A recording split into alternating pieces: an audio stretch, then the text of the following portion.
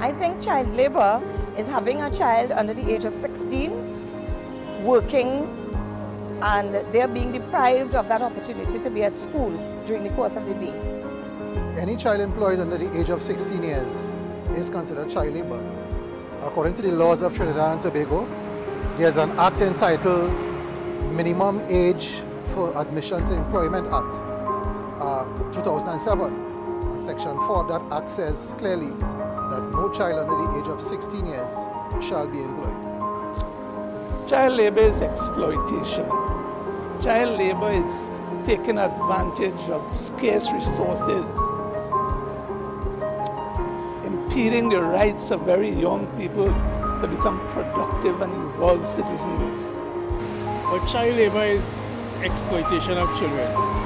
You know, using them for, for your own gain, to make money, you might see it as helping out. It have helping out and have working. To me, child labor is exploiting the age.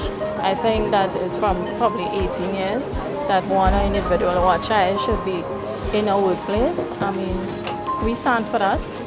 So um, having a, a, teen, a preteen in a workplace, that is to me is exploiting child labor. Well, my opinion on child labor is more than void right?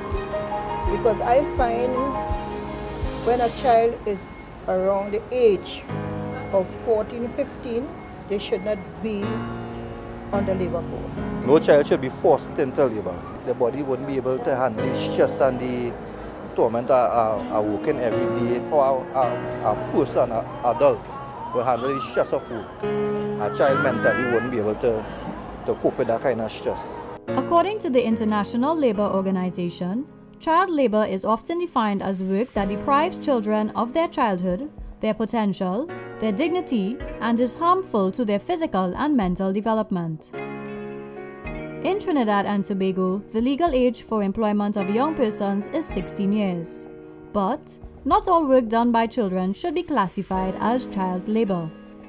In fact, helping parents around the home, assisting in a family business, apprenticeship or on-the-job training programs, any after-school or weekend job once children are not deprived of the opportunity to attend school and the work does not present a hazard or threat to the children is not regarded child labor. Many of us associate child labor with images of children in sweatshops in poverty-stricken conditions, and whilst this may not be the reality in Trinidad and Tobago, it does not mean that child labor does not exist. Protect our future generation. Protect our nation's children. Say no to child labor. Say no to child labor. End child labor now. Say no to child labor. Say no to child labor. Say no to child labor. No to child labor.